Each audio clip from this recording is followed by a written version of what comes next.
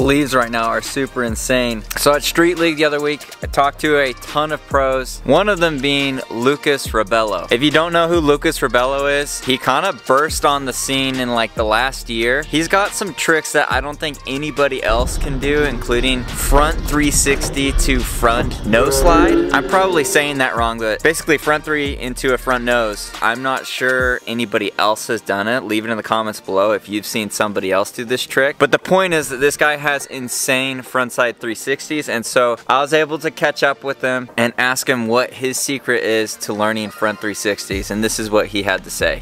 I have a hard time with front threes. Alright. I always like lose my balance and you're like, you got them. You can do like all sorts of variations with them. Uh-huh. So what would be your secret to getting the full rotation on a front Dude, three? it's like so many people ask about it, but like I feel like if you have the focus of ju- just on the front 180, normally people think about just I need to like speed front like like 100% front three. I don't know how to explain that. My English sucks, right?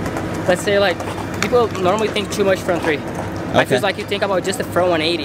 Okay, After you do like perfect front 180, you just like turn your shoulder fast, okay, and it's gonna be like the secret for sure. okay. So just do a front 180 but The faster? front 180, like do like the highest you can, and just like turn faster. Okay, so just, I, I like to use my toe, uh-huh. so I Do can you, how do you, can you show me your Yeah, foot yeah. position? I do like this. Okay. Right? That's my stance right here.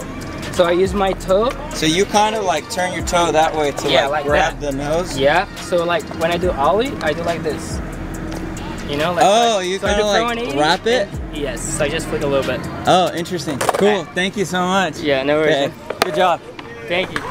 Hey, good job, man. I like how simple he made that. Like, just think of it as a really high front 180, but just spin faster. Sounds easy, but today we're gonna put it to the test along with his foot position, getting that back foot kind of in the back heel pocket and then that front foot below the bolts and kind of pointed so that you can slide up and wrap it. So that's that's the goal for today is to see if we can land one of these on flat and then maybe try and get it over the hip. If that goes well, maybe we'll try it somewhere else at the skate park. But first thing I'm gonna do is try this on the trampoline before we go to the skate park. I've just been doing this lately, testing out tricks to try and get a feel on the trampoline. So I'm not sure if it will work with this trick because the board is too light, but I thought it's worth a shot. Let's try it.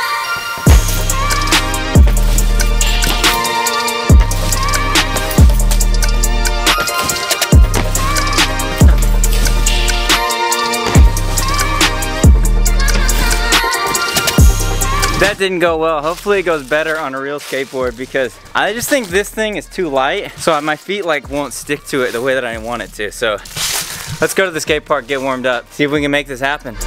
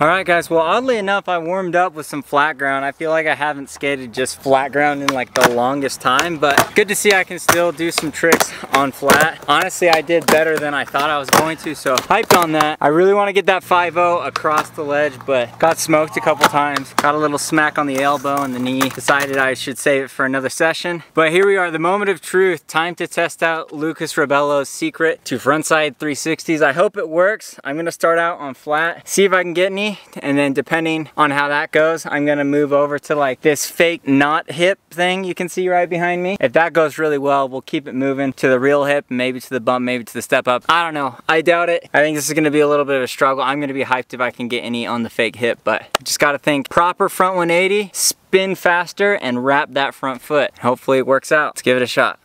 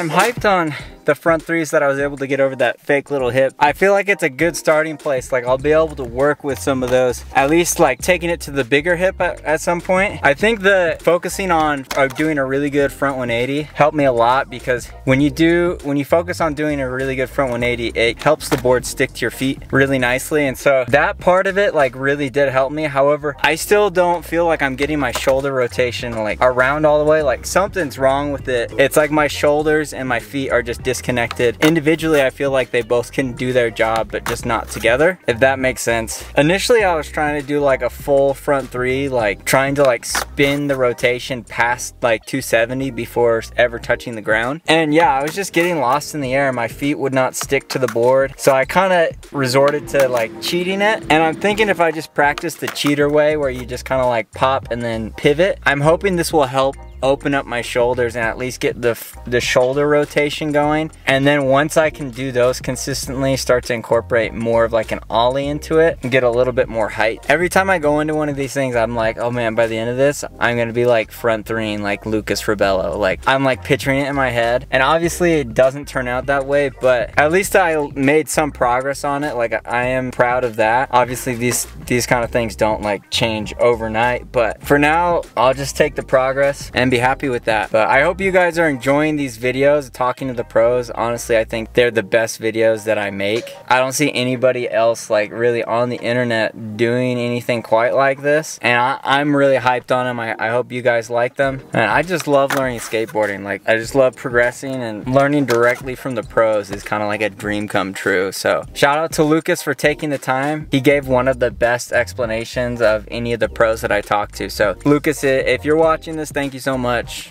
Muy, muito obrigado, muito obrigado, something like that. Thank you very much for taking the time. Thank you guys for watching. Make every single day a Friday. Follow your passion and see where it takes you. I'll see you guys in the next video. Peace.